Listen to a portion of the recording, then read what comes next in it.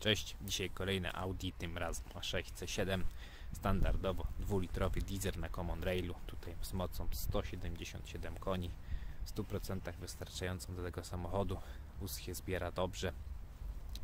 Nie jest to tak jak niektórzy piszą na forach, że ten silnik jest za mały. A co do auta. 13 rok, 211 tysięcy przebiegu. Największy plus tego wozu. Wóz jest bezwypadkowy. Przemalowany był tylko jeden tylni błotnik. Kolejna fajna zaleta tego samochodu macie elektrycznie chowany hak, więc nie szpeci wam wozu. Nie trzeba dokładać. Co tu jeszcze mogę powiedzieć o nim? Rozrząd został wymieniony przy 210 tysiącach, więc przejechane tylko 1000 km na rozrządzie. Wyposażenie też niezłe. Wszystko co potrzeba. Duży kolorowy ekran. Resztę jak będę nagrywał wnętrze to Wam tu opowiem. I na razie to by było tyle chyba o tym samochodzie. No oczywiście też zapomniałem dodać o Bixenonach i LEDach z tyłu. To naprawdę nawet zmienia wygląd tego pojazdu. Dużo lepiej prezentują się te auta z Bixenonem z przodu, z tym paskiem LED niż na zwykłych reflektorach. No i tutaj dogrywam Wam jeszcze wnętrze. Spójrzcie sobie na kierownicę na inne tutaj podzespoły w tym wozie.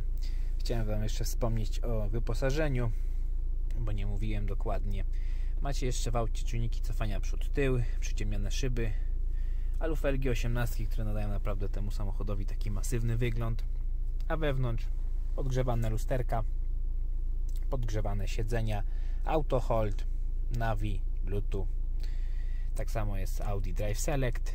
Tak jak tutaj widać, możemy sobie wybrać Środkowy kolorowy ekran to też jest ważne, bo czasami są z takim małym yy, czarno-białym ekranem i jednak no to niedobrze komponuje się z tym samochodem.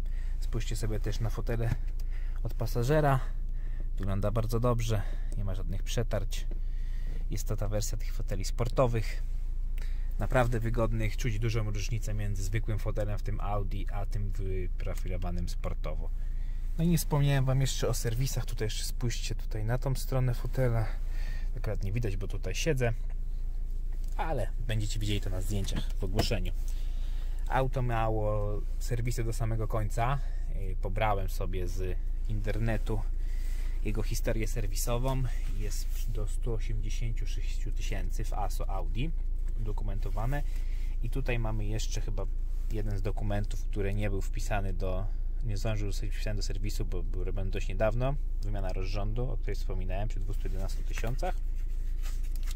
A tutaj to takie potwierdzenie z serwisu, bo teraz po prostu nie ma miejsc na stemple po którymś roku w Audi i dają Wam potwierdzenie i wpisują do systemu.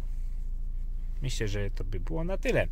Jeżeli macie jakieś pytania, dzwońcie, piszcie na e-maila lub też wchodźcie na Instagram mafkarauta lub na mafkar.otomoto.pl Na razie.